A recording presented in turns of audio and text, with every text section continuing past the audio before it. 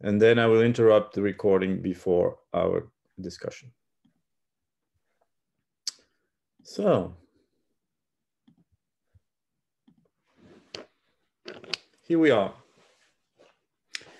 So I will try and propose uh, five principles of philosophical health for critical times. Um, those principles, uh, as some of you will recognize, uh, are not that new. Or in fact, it depends from your evolutionary perspective.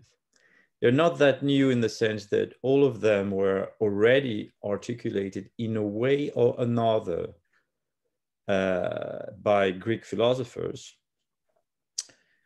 Uh, however, uh, I don't consider that philosophy and philosophizing in that sense um, is necessarily something old. Is actually if you if you look at human evolution it's something that is rather new. And i argue that uh, the idea of philosophizing and philosophical health philosophizing as uh, a way of life is actually uh, not yet uh, fully integrated by uh, humanity. So it's, it's still a, a project for the future.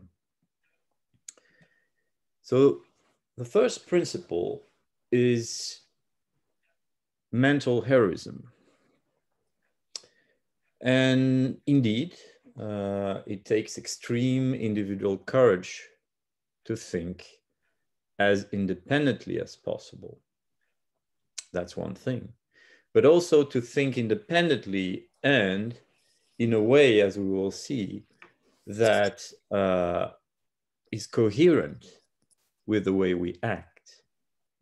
That adds another layer of difficulty. And of course, the idea of mental heroism, as I said before, was already present in uh, antiquity and was somehow reactivated by Kant with his three maxims of practical wisdom, which you can find um, well articulated in uh, his um, anthropology, which is one of his last works. Think for oneself, that's uh, quite well known. Uh, think into the place of the other in communication with human beings, and always think consistently, consistently with yourself. So it's interesting because one might say, well, in a way, the second maxim might be might seem contradictory with the the maxim one and three, right? Uh, if you always think for yourself and if you always think consistently with yourself, you might think that you actually don't need to think into the place of the other. But I think this second uh, maxim is important because mental heroism is not only about being able to resist uh, resignedly, it's also about, about intersubjective care. And what Kant means here is intellectual empathy. And intellectual empathy is not the same thing as emotional empathy, right? This is uh, quite self-evident. So the idea of philosophy is a concern for the whole. Uh, and in philosophy, that whole is called the universal. Uh, whether we think that the universal is represented by a higher conceptual power, value, idea, and we will see what this might be with principle two, or simply the idea of the whole.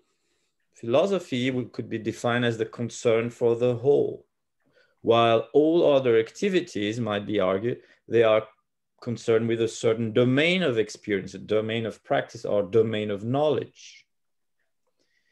And So what philosophy is saying is, well, well, if you want to be healthy, whatever you do, you need to think of the whole. You need to think of the place of what you do in the big picture.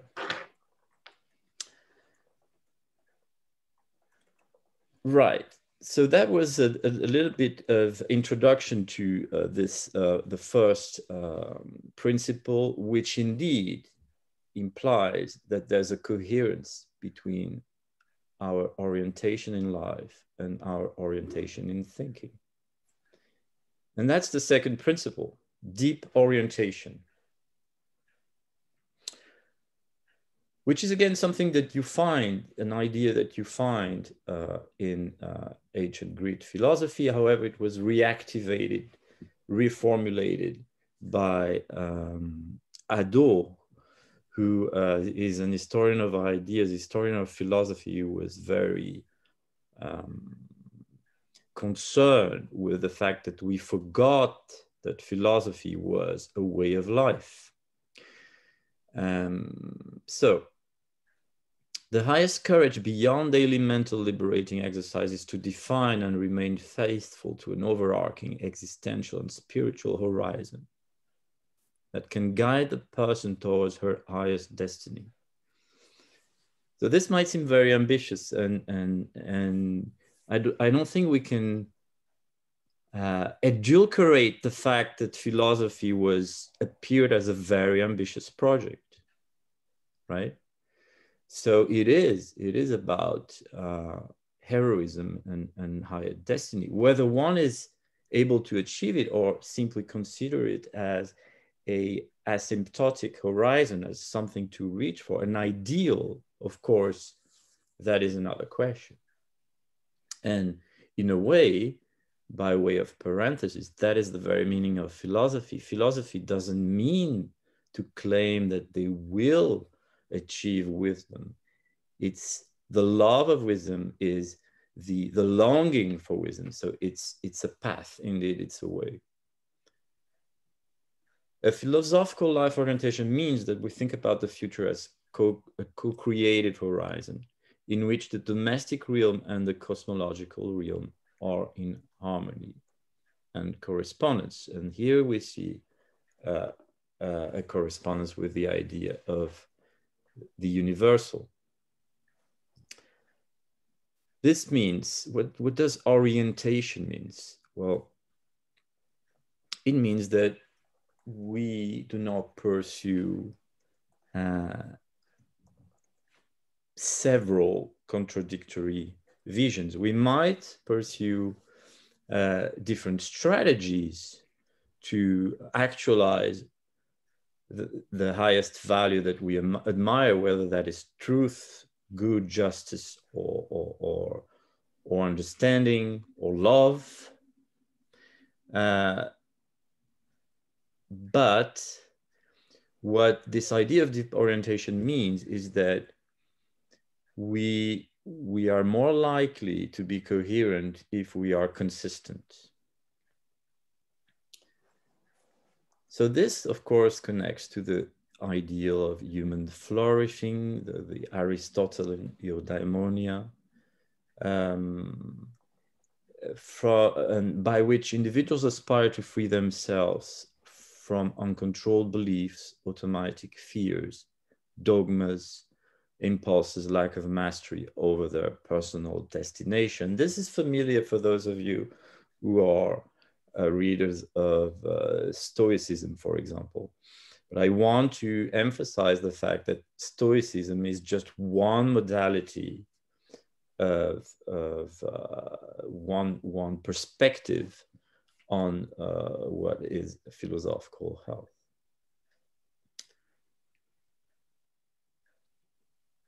Right. And so this is not, again, this, as we have seen, is not something that is a, a selfish care for the self, uh, a ivory tower care for the self. Uh, in fact, already since Plato, philosophy is preoccupied with utopia. Pre- philosophy is preoccupied with the idea of paradise on earth. Uh, not a another worldly paradise, but the actualization of the values in the everyday life. And how? So this leads us to the third principle, uh, which I term critical creativity. So I was born in 71, and as long as I remember, I heard the media say that we are in crisis. The reasons for the crisis might be different, but as long as I've lived, we've always been in crisis.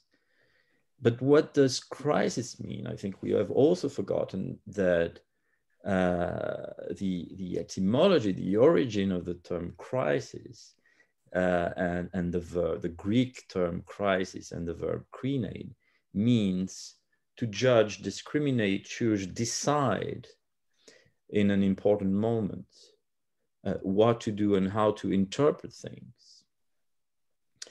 And um, if we translate it, is if we translate it uh, uh, correctly according to its root, we have the idea of the winnowing of wanted elements from unwanted material.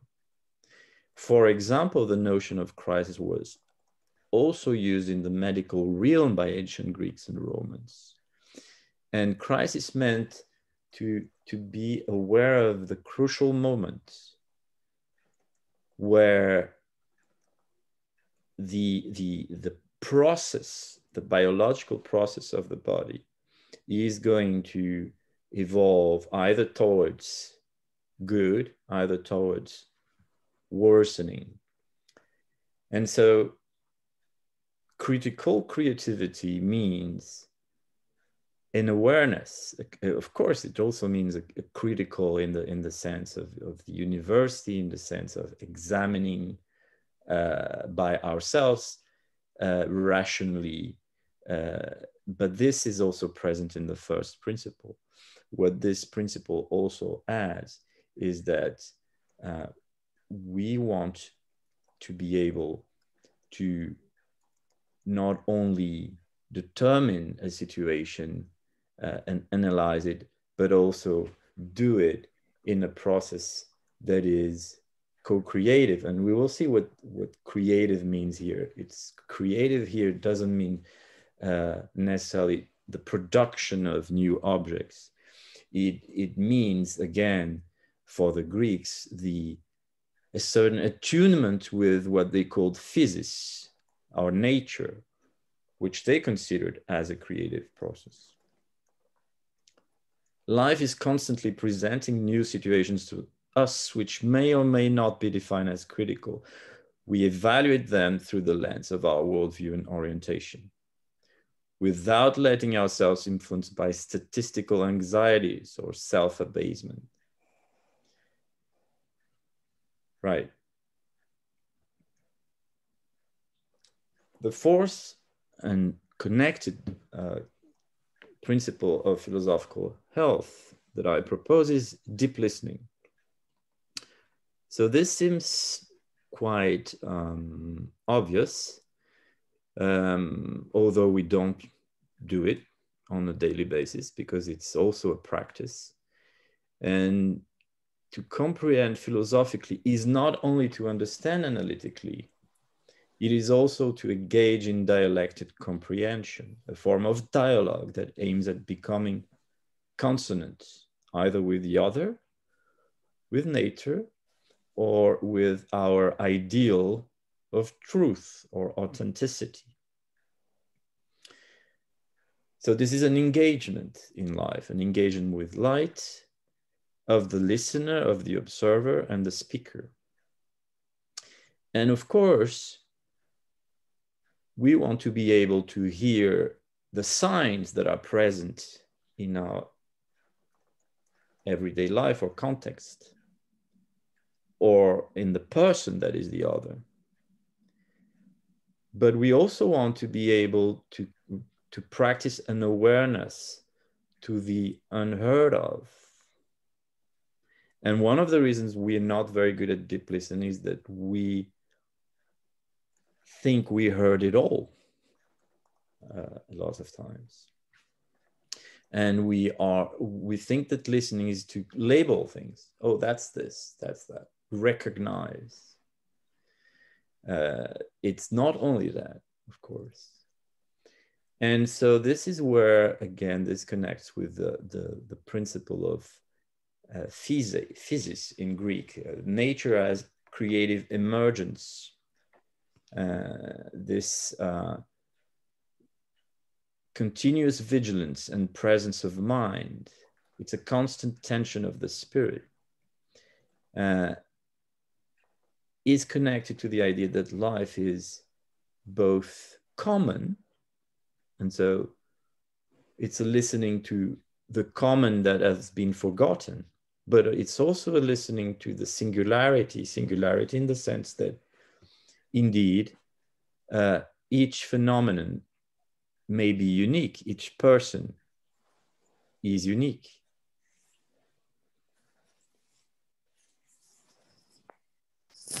And the last principle I propose is absolute possibility.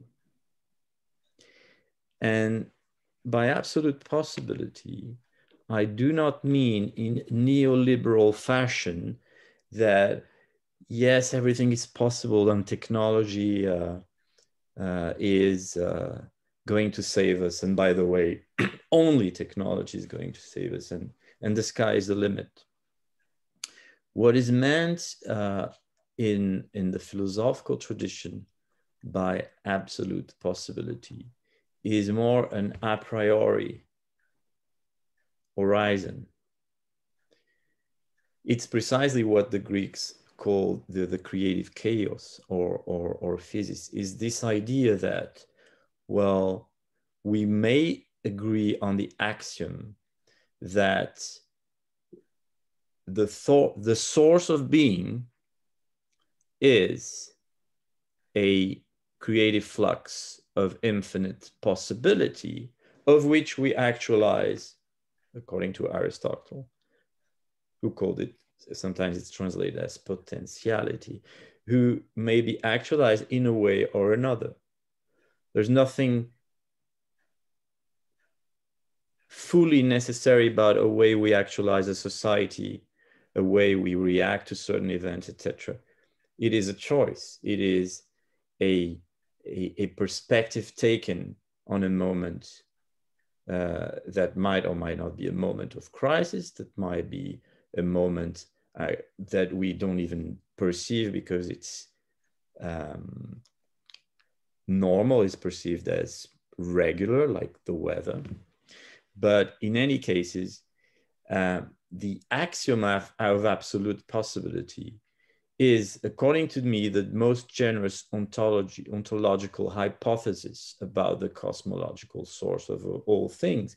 And if you remember first principle, we said that philosophy is a discourse of the whole, is a care for the whole, for the universal, and therefore it has all constantly attempted to propose a name, an idea for that whole, right?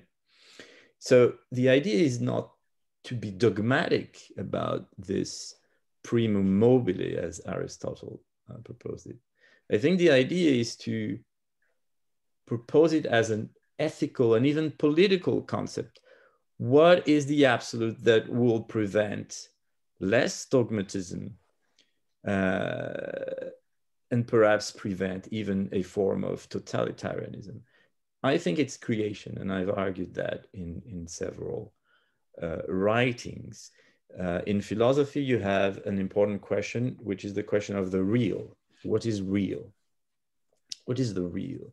And so I, I, I call Creal that absolute possibility to point to the fact that it is a creative uh, process of absolute possibility. And the real, it's, it's multiple. It, it's the options that we take when we actualize that um, feeling Right. So I'll, I'll conclude here.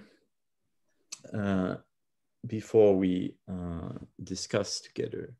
So I think you all heard, even if it's not your English is not your uh, mother tongue, you all heard the expression "get real." There's this idea that the realists are, are, are really the, the, the people who make this world function and fix it. I think that is a, a, um, a wrong perspective on history. Uh, I think that if we look at history, well, we we observe that many times it is uh, groups or individuals that were attached to this idea of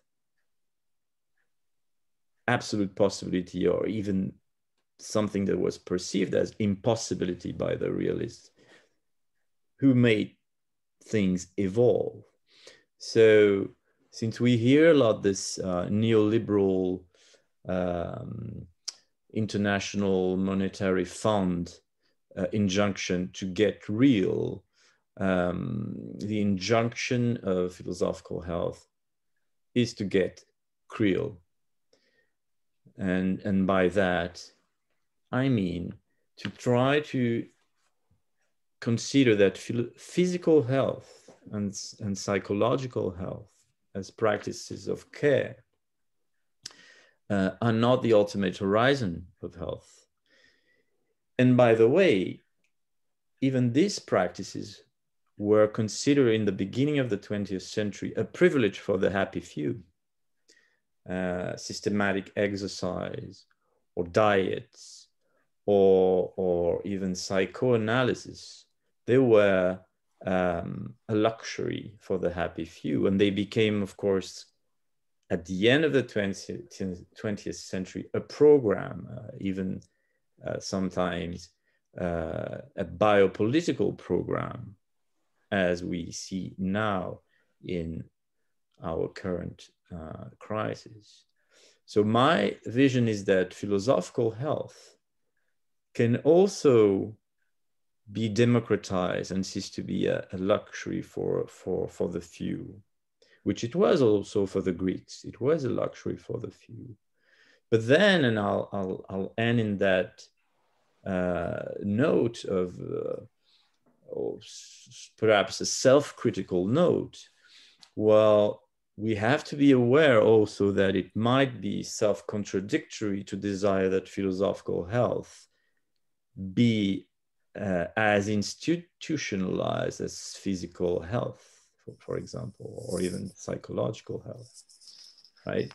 And and there again, uh, the important thing of the idea of um, crealectics that I'm developing in my research is that, well, I believe that this, uh, this perspective is precisely ethical and political in the sense that it, it, it, it is concerned with preventing a new uh, dogmatism.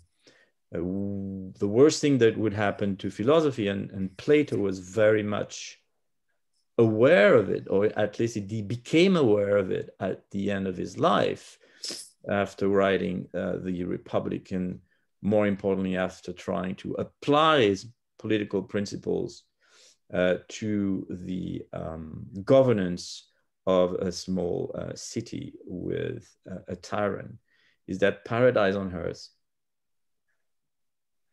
can, if it is imposed, of course, become um, hell on earth. Okay, so the presentation stops here and I will uh, also interrupt the recording.